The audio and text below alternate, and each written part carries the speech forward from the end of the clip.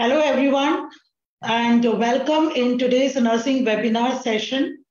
Myself, Shanti Bhattacharya, the Vice President, Nursing Yashoda Hospital, and today we are going to discuss about one of the very interesting topic on polytrauma, its initial assessment, two case study, and one review of journal. Having said so, as we all know, every one out of 10 people die in road missions and every 1.89 minutes there is a trauma related injuries which is happening on the roads and a lot of mortality rate which is uh, currently persisting. But also there is a lot of orthopedic advancement specialities are evolving in practice. So let's see what we have in today's webinar session. Having said so let me uh, introduce and welcome are very eminent, highly competent, and very skilled a surgeon, none other Dr. Kirthi. And uh, Sir specialities are into the robotics. He himself is a very uh, is a very uh, you know eminent arthroscopic surgeon and um, minimally invasive trauma specialist. He also operates on foot and ankle and knee and shoulder sports medicine specialist specialist. Sir, I welcome you. Today, even I welcome my uh, nurse manager, who is Pushpa, who is a nurse manager for medical surgical ward at Hitec Yashoda Hospital. I welcome both of you. And today we are going to talk about the polytrauma. And let us begin the session. Uh, the first overview to Dr. Kirthi only.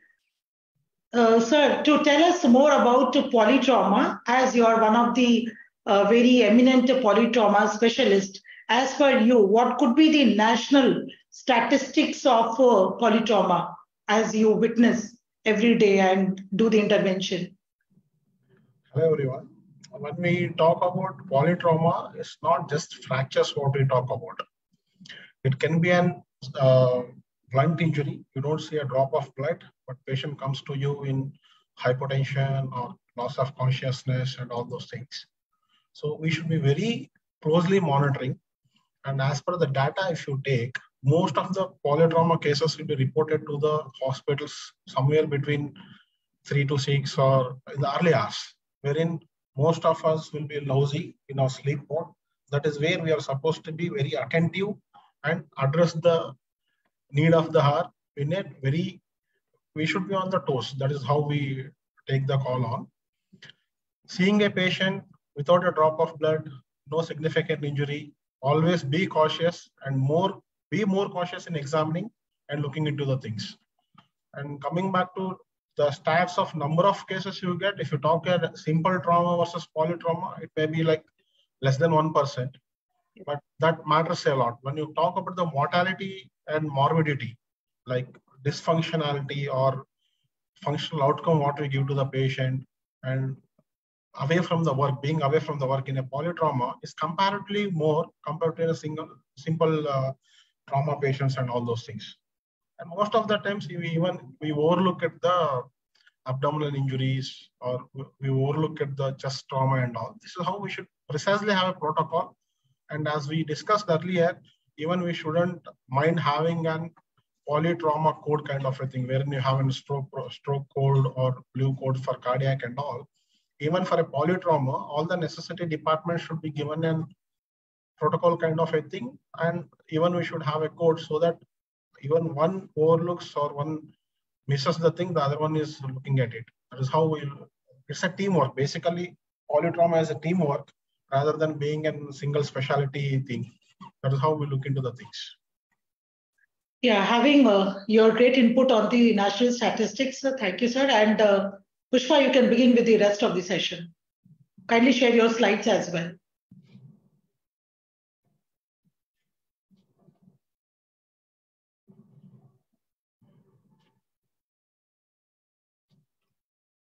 Go to the next slide.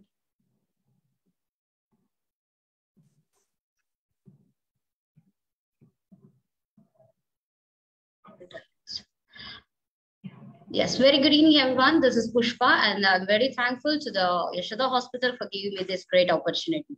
Today, we are going to discuss about the polytrauma. I'll just go with the definition. When an injured victim has sustained multiple injuries like major limb injuries, associated head injury, abdominal, pelvic injury may cause significant disability and may be life-threatening known as polytrauma. And as just I would like to go for the, the WHO trauma statistics. Motor vehicle continues to be a major developmental issue, public health, public health concern, and the leading cause of death and injury in the world. At least one out of 10 people killed on road across the world in from India, according to the World Health Organization. It is indeed a matter of great concern during the year 2021. A total number of 4,12,432 road accidents have been reported in the country, claiming 1,53,972 lives and causing injuries to 3,84,448 persons. Unfortunately, the worst affected age group in road accidents is 18 to 45 years, which accounts of about 67% of total accident deaths.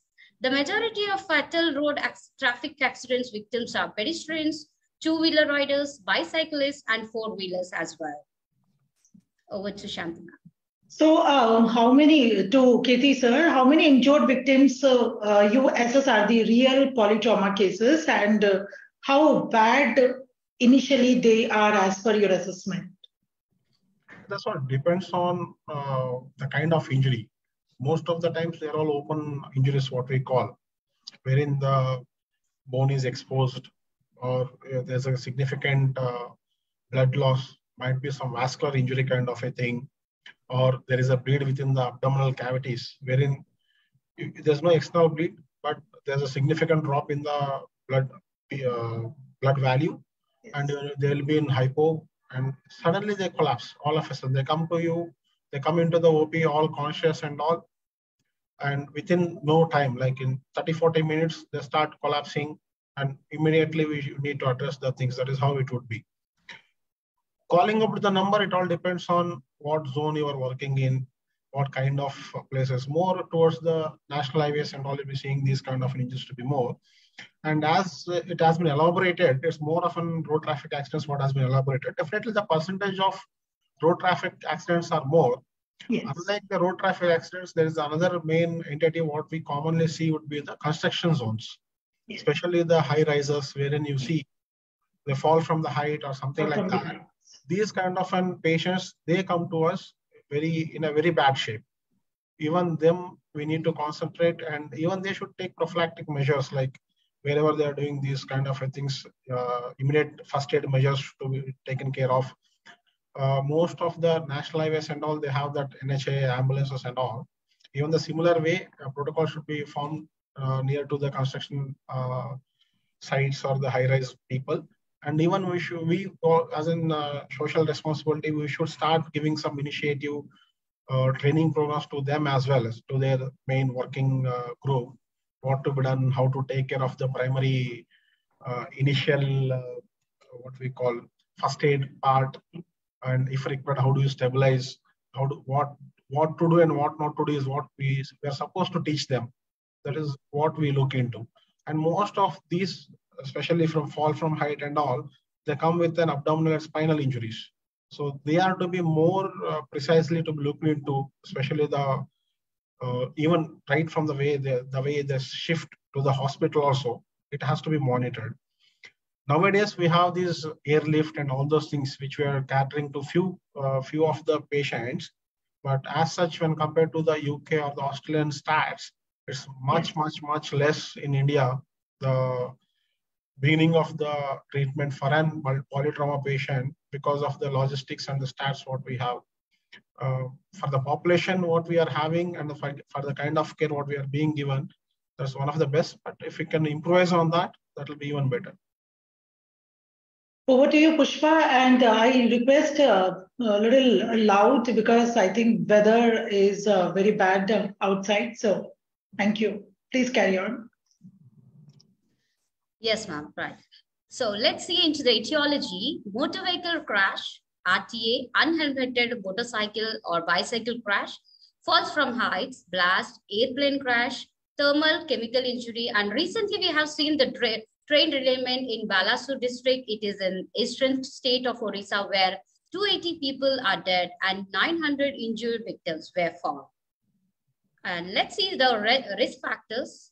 There may be a low GCS score, systolic BP less than 80 mm of Hg, pneumothorax, thoracic and pelvic intra-abdominal bleeding, airway obstruction, tension pneumothorax, hemothorax, open thoracic injury, or and flail chest, massive internal and external hemorrhage, etc.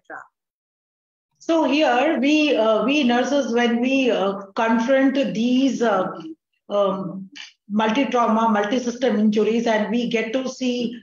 I mean, we do not know that the patient has been received with a flail chest, but it is only the clinical uh, team when who they come and diagnose so what, what, why these flail chest injuries, uh, you know, it happens and what immediate interventions are drawn, done from your end? And what should be the role of the nurses when we see uh, any anticipated chest injuries uh, cases at ER?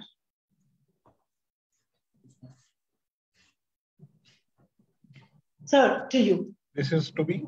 Yes, sir. Yeah. So basically, uh, anyone with a chest injury rather than only clinically once we put on with the as we suggested earlier low gcs patient being drowsy not arousable and uh, bp being on the lower side and main significant thing would be the saturation.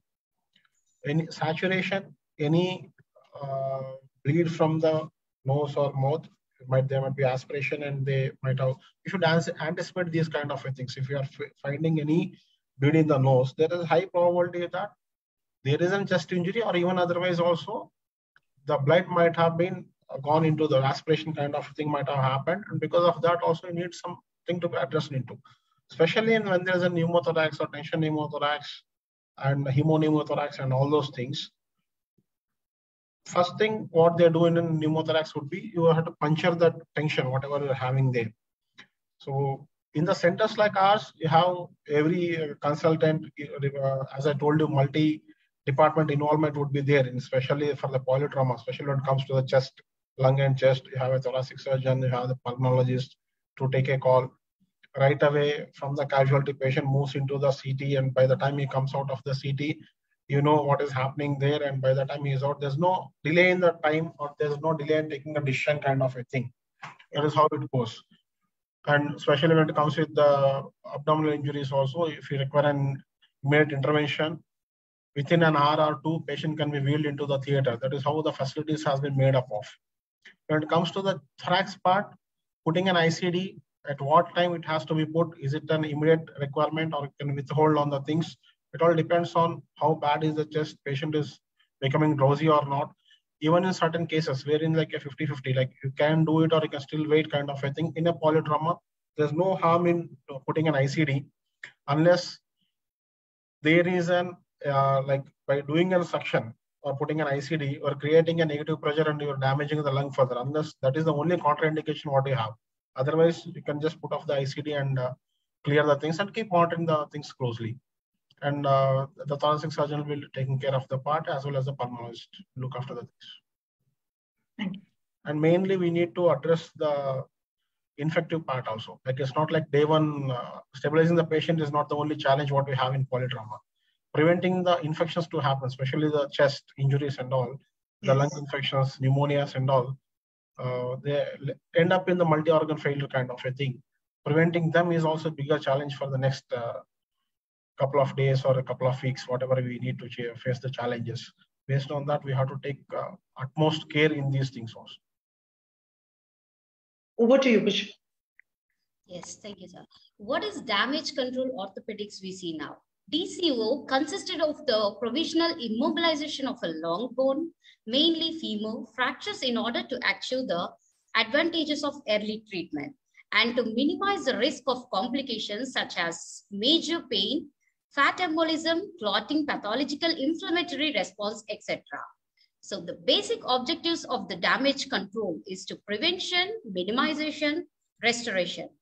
So here, sir, um, I'm, I, am I'm very thankful that this uh, damage control uh, orthopedic scenario and uh, you know the the PPT preparation while pre- preparing the PPT, you have uh, said me to you know highlight on this because we as a nurses we are uh, you know we follow the trauma pathways and uh, initial assessment at ER, but the concept of DCO is a little new for us now. And how do we go about it?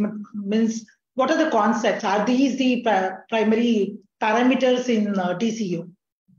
A basic thing in damage control orthopedics is two things here. One is uh, minimizing the blood loss. The first important thing is minimize the blood loss, minimize the chances on, or the requirement of the transfusion, and stabilize the things. Once we stabilize, most of the complications are set aside. Like we can prevent uh, embolisms, we can prevent prevent certain infections kind of a thing wherein we immediately stabilize certain things. And also the ABC is taken, taken uh, care of when we talk about this damage control orthopedics. And whatever we do, even uh, there's a blood loss, uh, transfusing the blood, and there's unstable bony fracture there, or unstable pelvic fracture, or any abdominal injury or something like that which has happened, unless you sort out where is the, where there is a leak, unless you stop the leak, whatever you put in is going to tap out from there. So to pre prevent that and minimize the requirement for the transfusions and the transfusion acquired reactions, something called the TRALI and all those things, to prevent them, these things have come into surface. Uh, in damage control orthopedics, it's not like these are the things which are done in a patient who are critically ill, wherein we can't do a definitive procedure for them because they're not stable. They're still on the risk of life in them to prevent the further damage, this is done. This is like a stabilization procedure, not a definitive procedure, wherein you are putting the X-fixers, or in certain cases, you're putting the splints, even putting a slab for a multiple fracture and immobilizing them, even that comes under the damage control orthopedics. It's not just the external fixator what we put. And in these scenarios, it will be done just right in the ear. In the ear itself, if required, we'll be putting off the X-fix. If you have an all the four long bones fracture, both the femur, both the tibias kind of a thing, wherein both the lower limbs are uh, floating. You can't mobilize the patient even for the CT or whatever test you want to do. Whenever you keep mobilizing him, it keeps on moving. You are injuring the soft tissue structures around it. There'll be high chances for the embolism to happen. All these things. So in them, you stabilize them with an external fixators.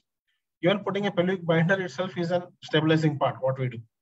So this is how it goes. Even before going to the primary investigations, if you suspect any unstable pattern, so something like an you have an injury in the cervical spine, rather than shifting him and pro, uh, going into the CT or the MR kind of a thing, let him go with an brace to the neck.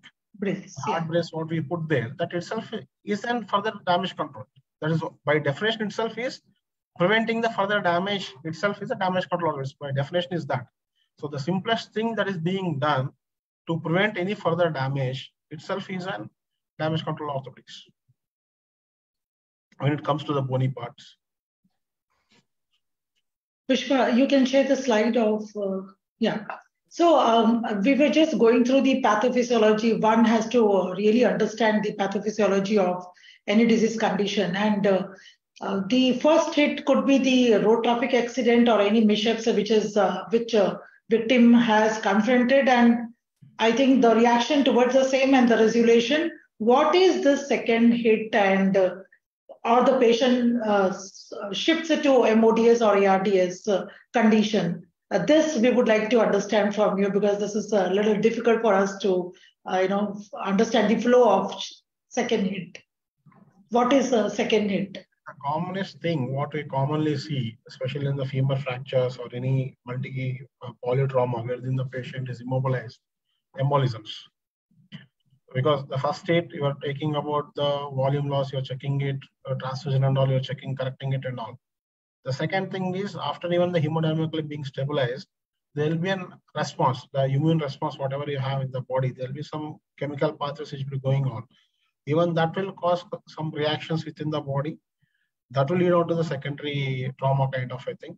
Even doing a surgery, which is not an optimal timing, even that itself causes a second hit. So that is the reason why we have to check all the parameters. For example, a simple femur fracture comes to you. we are not talking about 10 polytrauma. A femur fracture who is already in a saturation drop, whose pulse rate is on the higher side, whose BP is dropping, always suspect fat embolism. Even though even your uh, CT pulmonary angio shows to be normal, it might be still an uh, evolving kind of a thing. So in those scenarios wherein it's not a mandate thing to be operated, right? because when you want to nail or do something, while nailing, you're again releasing the fat over there. The marrow is released and you're giving a second hit there. So these things have to be very closely monitored even before, because we have seen patients being lost with a fat embolism also. So overlooking these things can also lead on to certain things. And many a times DVTs, especially when uh, long bones are operated and they are being rested for quite a long time, like three to four weeks or something like that. Any suspicion, always double check with the Dopplers and then start mobilizing. And these days we are being on the prophylaxis of um, these anti-platelets kind of, I think the Xareltos and all those, the blood thinners what we use commonly, that we are being uh, using as a prophylaxis for a almost all the polytraumas, the joint replacements, even to an extent of uh, even when the patient is being mobilized, like something like an ACLs or something like that, where we never used to use an prophylaxis in them, the antiplatelet DVT prophylaxis, we never used to use that. But post-COVID, we have been seeing a few patients who have, who have come up with an uh, DVTs, established DVTs after even an ACL reconstruction, which is a purely elective thing. So in them also we have modified the things and we have started putting them on uh, DVT prophylaxis, even though they are being mobilized, we have started putting them on them so that the second line of the things are being uh, challenged and controlled. And any uh, reactions those are happening, can it be the immune response or whatever it is, we should be, be prepared for them to be settled and then multi like involvement of uh, the pulmonologist or the physicians. All these things are to be looked into and secondary infections like pneumonias all these things are to be taken care of that is what we are supposed to do.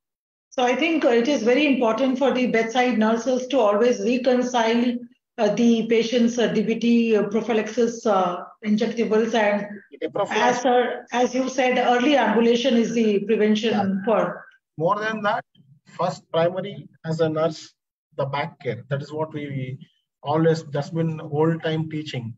Everyone talks about the back care. Patient care has to be given. There's no alternative. And if someone tells I have developed a bed sore when I'm in the hospital, it's the curse. It's our lacunae, not the patient's lacunae. So being under your care, if someone is developing a bed sore, we should take care of that, why it is happening patients would be in pain. They won't be cooperative. Even then, you know the advantages of these things to be taken care of.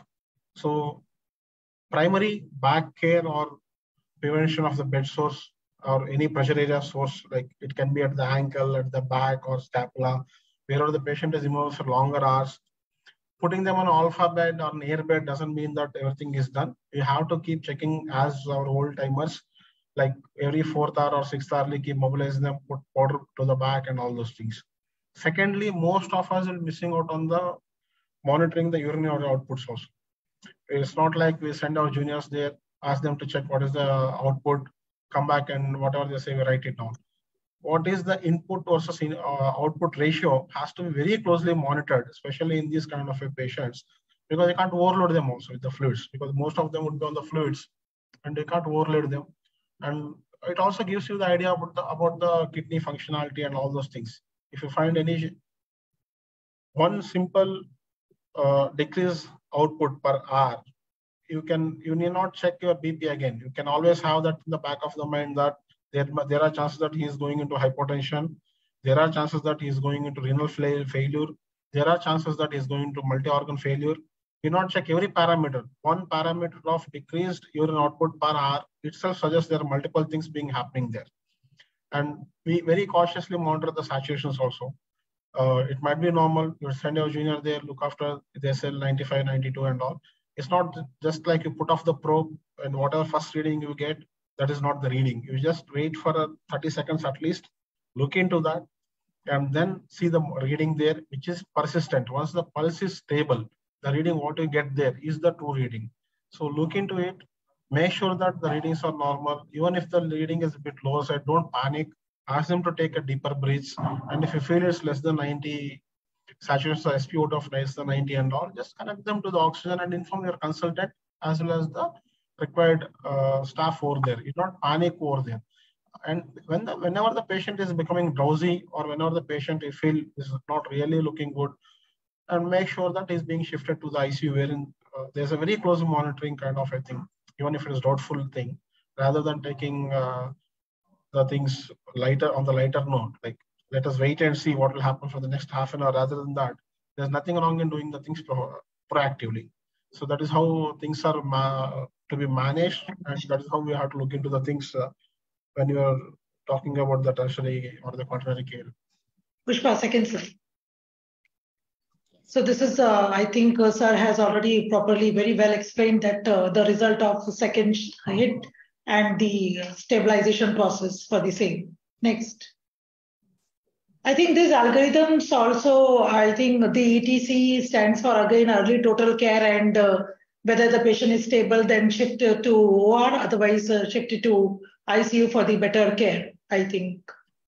Yes, sir. That's what it is all about. Yes. Next. It's all about what you want to evaluate, how you want to evaluate, and uh, what are the necessary investigations to be done, yes.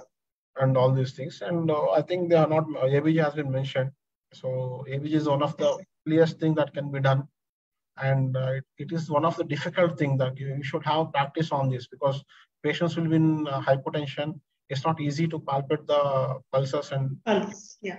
you take the help of your ear uh, friends yeah. Uh, if required with under the guidance of uh, ultrasound. You have all the equipments over there under the guidance of the ultrasound or something like that. Puncture the artery properly and one go get the things done. That is how we should look into it. Next so these are the phases of damage control surgery. This is also a new thing for us, like phase one, what happens, phase two, and phase three. Uh, I think, uh, sir, you must be following this protocol for our one is, That's what the early stabilization and what have been discussed in elaborate till now, like yeah. uh, removing the source of the leakage. Yes. That is the primary thing. And life-saving procedure, something like someone has a solid organ injury, uh, who has a ruptured spleen or a ruptured blower, bowel, in the abdomen or any lung injury, the primary care will be given initially. Long bone primary stabilizations would be done. Pelvis, any stabilizers are required, that will be done. And definitely with the polytrauma and all these things, he'll be in the ICU. That is the second phase.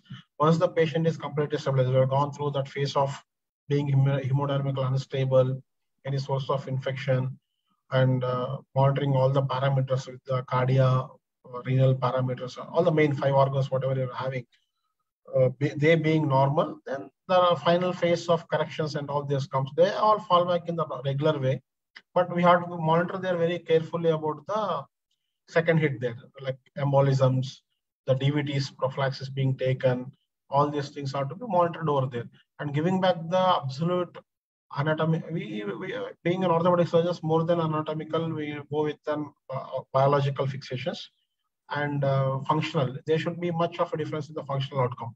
That is what we look into. So that is the main agenda of the uh, final fixation of the yes. stabilization. Yes. Yeah. So let's, uh, that's a great thing, sir. Initial assessment at ER. So what the nurses and all the emergency team will go ahead. On patient arrival to emergency, the team begins with the primary survey following trauma pathway which includes a detailed assessment of the patient. And the best chance of survival occurs when a seriously injured patient has emergency management within six hours of the injury. So this is one of the review of literature, um, like uh, we were just going through, and uh, this is a trend. Uh, global changes in mortality rates are becoming, uh, you know, greatly good. But I think uh, as per your opinion, sir, because the rates are decreasing because you think because of high advanced technology and skill hands like availability of the consultants under one roof. That is the biggest thing. That is a change yes. over what we are seeing these days. Yes. Initially, most of the things would be individualized and uh, you call it as a nursing homes or individualized practice. Then yes. multi-specialty involvement would be less. But these days, the multi-specialty involvement, all working as a team, and the evolution of the inventory with the what we call the machineries, the CTs and all, the timing for the scans to be very reduced and availability of the reports within no time. These are changes which has made a lot of difference. And availability of all other things also like uh, blood parameters, you call it as, uh, whatever is required is all readily available. So with that, the mortality rates has come down. Yes, it's Early rehabilitation, the physio protocols and all, they are cut down on their morbidity also. Yes. Over to you, Pushpa. Yes, ma'am. So now we see uh, below client was treated by Kirthi, Dr. Kirthi and team. So a 34 year old female presented with alleged history of four-wheeler hit to rock beside the road at around 10.30 am and sustained injuries to bilateral lower limbs and right forearm. Went to, and patient, uh, they went to the nearby hospital for primary aid, later presented to us for further management. At the time of patient, we received history of loss of consciousness is present and GCS was uh, 15 by 15 and length of stay was four days. Let's, the diagnosis will be. Uh, so I think this was a diagnosis uh, which was, uh, you know, uh, done by uh, Kirthi sir and team and you can just go for the x-rays imaging where sir can explain this. Yes. Sir, I think this was a very worse polytrauma and the outcome was very good. And uh, we will just share the slides. You can always give your uh, very yeah. valuable insight on the same. Yeah, in this X-ray, if you see the first X-ray, the previous one, this is type one. The post-op X-ray is been for the other uh, other one. This is for the other side. This is for the left one. The post-op X-ray is of left one. The right side, there is a simple femur shaft fracture along with the ipsilateral. Same side, you have the. You can go to the next slide. Yes. Same side, you have the segmental tibia, wherein within a, with a single incision, we wanted to control on the soft tissue also. So with a single incision, we have done tibia nailing as well as a retrograde femoral nailing in the same entry point. If you see from below, we have put the nail above uh, in the femur. That is what we have done in that uh, right side uh, leg, tibia shaft as well as the femur.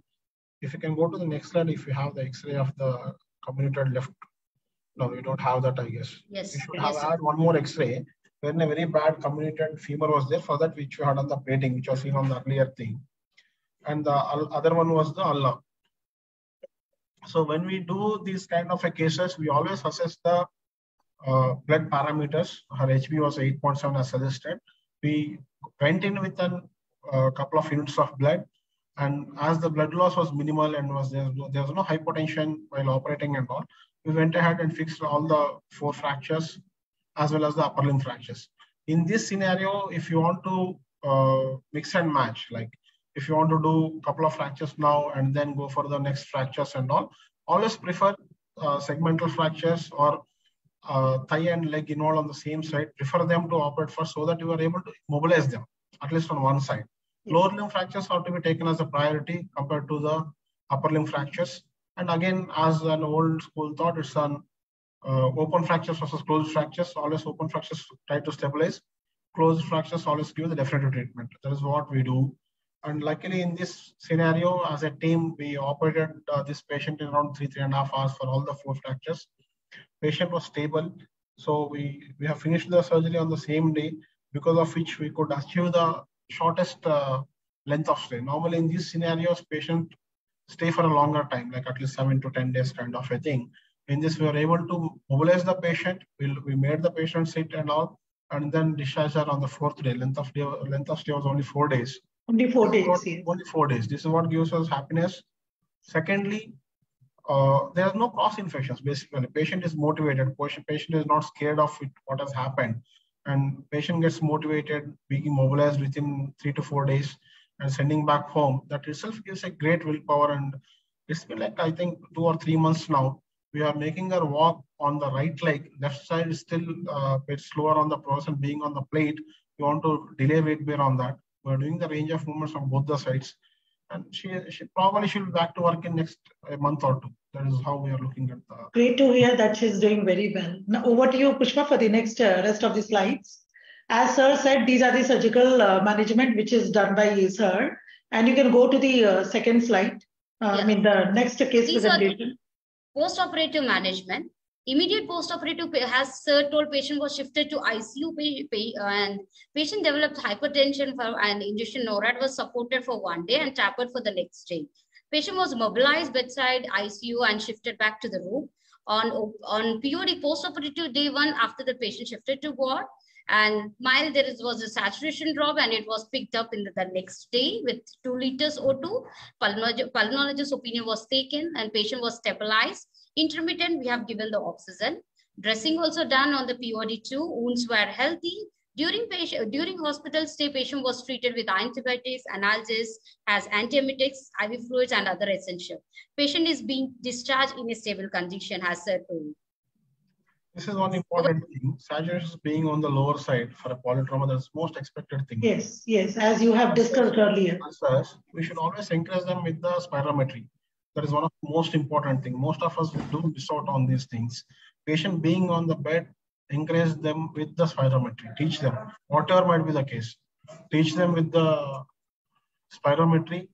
It's just like pranayama. you just tell them doing pranayama is nothing, but let them continue doing it. Uh, it's not just during the stay in the hospital. Teach them and ask them to continue doing it. It helps the lung volume to be increased and they'll have better life. Even in future, whenever the elderly people have an elective surgeries also, your lung is good if you continue doing the spirometry exercise at home. Always try to teach the patients. It's not just when they're in the hospital, you're telling them to do it. You should make sure that even after they go back home, they make it as a habit and they continue it throughout their life. That helps them a lot. Uh, this would be one of the suggestions from my end to all the sisters, all the nurses over here. And uh, if they're already doing it, that's great. And we should be thankful for them. Yes, sir. Go to the next case presentation, Pushpa. We... Yes. Yes, there is a, uh, this case also has been treated by Dr. Kirthi and team. This uh, a 30-year male young boy presented with alleged history of fall from height from third floor at around 4:10 a.m. and sustained with multiple injuries presented to us for further management. At the time of when we received, there was uh, no history of uh, loss of consciousness and GCS score was good and his length of stay was six days. So here I can uh, see the total diagnosis uh, which is uh, you know given by you and uh, I think when we were preparing the slides and reading the case history, total seven major fractures the patient had and the length of stay was I think Pushpa is it four six. or six Six a day. So uh, go to the image, uh, share the image uh, for sir to just view. Yeah, we can see that it is the patient is being operated with the nailing and sort.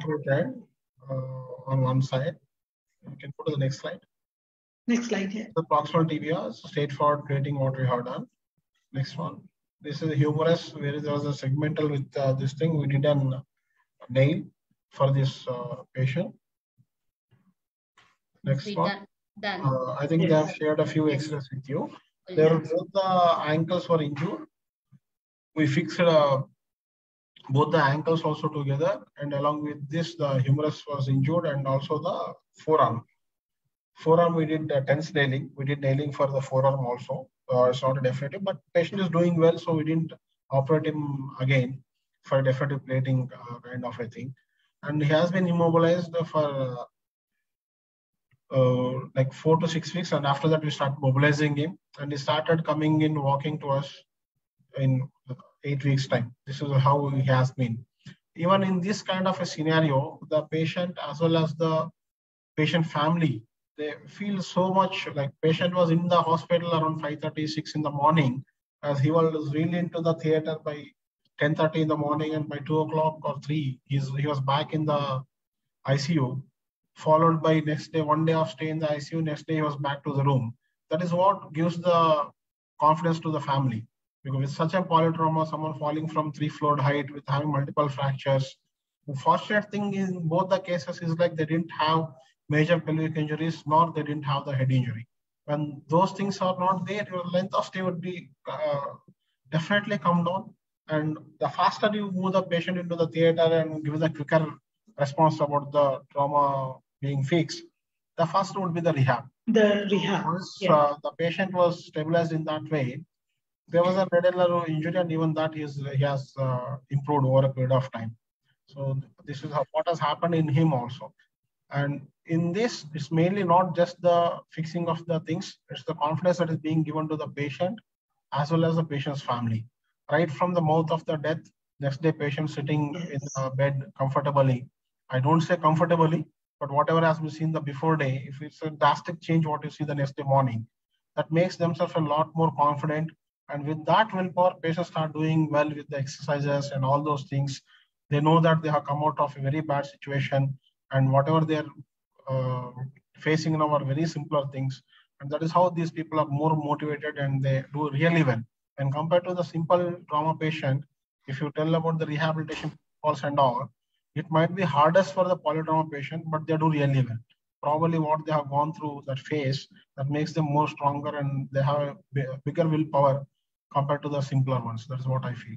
So I think the great congratulations and kudos to you and your team because uh, the patient had multi-system injury and the patient did very well. I think uh, sir has already spoken about this slide. You can go to 27th and uh, see the parameters. Uh, we have discussed the slides also as well in the um, early hours. Go to this 28th slides. Yeah. Yes, ma'am. Yeah, as this has also been discussed by said that airway breathing and circulation and um, patient uh, physiological health should be restored. And hypothermia prevention as we know that patient uh, uh, should be safe and uh, you know safe enough in the icu yes next.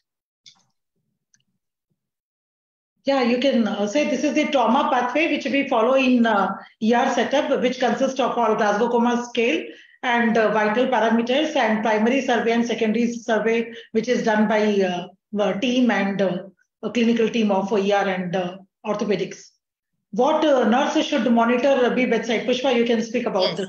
So our we nurses should monitor and be bedside. We have to do a close observation, frequent assessment of pain and vital signs. And most probably, most thing, the use of immobilizer, ex-knee, arm immobilizer, spine boards, cervical collars, tractions, has said POP and plaster cast and splints. And we have to look for watch for the bleeding side arranging for blood and blood products, plasma expanders, drug administrations has prescribed. We are, as soon as possible, we need to send uh, blood samples and imaging scan as per order. Hemorrhagic control and hemostatic resuscitations to, to be take control. Treat shock as per the case. And let's go into the conclusion. Incidence of polytrauma is rising Initial evaluation and stabilization is of paramount importance. Proper selection of patient for extra uh, ETC and care. DCO, early yeah. total care and the uh, DCO and the initial management of the trauma patient requires a coordinated approach by a multidisciplinary team of specialists. Yes. So having said so, I think uh, we have done with the polytrauma cannot just uh, be run in one uh, half an hour to one hour uh, presentation. Thank you so much. But we have seen sir uh, doing and uh, you know going for the rounds, uh, talking to the patient. Uh, the other day I could uh, witness you asking the patient for the spirometry as well. You encourage all the time the nurses about the safe post-operative event for the patients. And uh, having said so, thank you so much, sir, for your valuable uh, insight on the polytrauma concept. And thank you, Pushpa. That's how we end the session. Today, we are ending with the orthopedic uh, series of uh, webinar. And uh, next month, we will be starting the uh, endovascular series. So stay connected, everyone. Thank you so much and goodbye. Thank you.